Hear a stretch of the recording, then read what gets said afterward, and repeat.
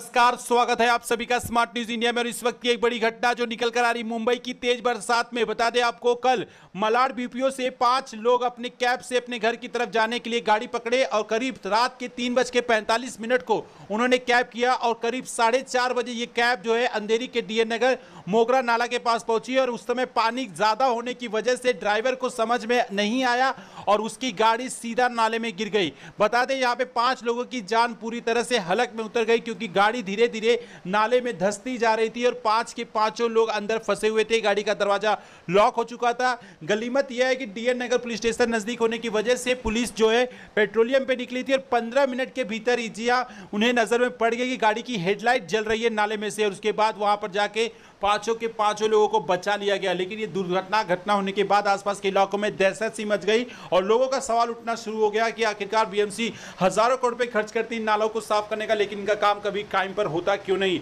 आज के लिए इतना ही। जय हिंद, अपना ख्याल